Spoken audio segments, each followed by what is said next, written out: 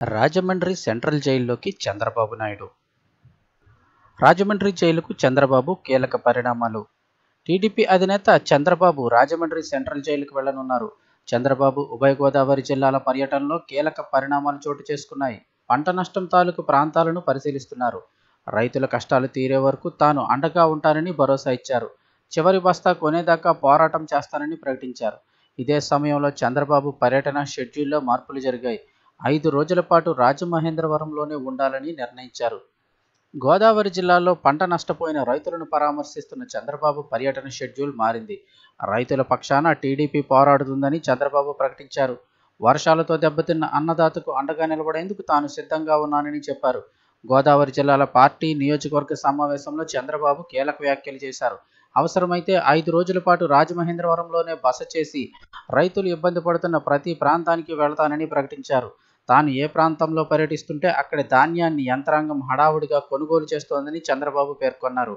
ప్రతి ధాన్యం గింజ కొనుగోలు చేసే వరకు పోరాటం చేయాలని నిర్ణయించారు. రాజమండ్రి సెంట్రల్ జైలుకు చంద్రబాబు. అటు చంద్రబాబు ఈ రోజు రాజమండ్రి సెంట్రల్ జైలుకు వెళ్ళనున్నారు టీడీపీ నేతలు ఆదిరెడ్డి అప్పారావు వాసులను పరామర్శించనున్నారు. జగజ్జనని చిట్ ఫండ్ ప్రైవేట్ లిమిటెడ్ వ్యవహారానికి సంబంధించి సిఐడి అధికారులు కేసు నమోదు చేసి అరెస్ట్ చేశారు. వీరిద్దరూ ప్రస్తుతం జిల్లా కారాగారంలో ఉన్నారు. ఇద్దరిని విచారించాల్సి ఉందని సిఐడి కోర్టులో పిటిషన్ దాఖలు చేసింది. ఈ కోర్టులో విచారణ తర్వాత బెయిల్ పైన నిర్ణయం వెలువడే అవకాశం ఉంది.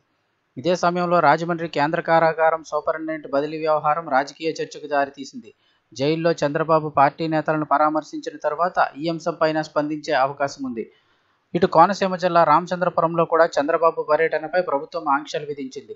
టీడీపీ అధినేత పర్యటించకుండా కక్ష సాధింపు చర్యలకు పాల్పడుతోంది. రెండో రోజు రామచంద్రపురంలో పర్యటించనున్న చంద్రబాబు పంట నష్టం ప్రాంతాలను పరిశీలించనున్నారు. అయితే పొలాల్లోకి వెళ్ళనీయకుండా పలు ప్రాంతాల్లో పోలీసులు బారికేడ్లు ఏర్పాటు చేశారు. రామచంద్రపురం మండలం వేగాయమ్మపేటలో పంట నష్టం పరిశీలించడానికి వెళ్ళాలని బాబు షెడ్యూల్లో నిర్ణయించారు. తీరా అక్కడికి వెళ్ళకుండా బారికేడ్లు ఏర్పాటు చేశారు.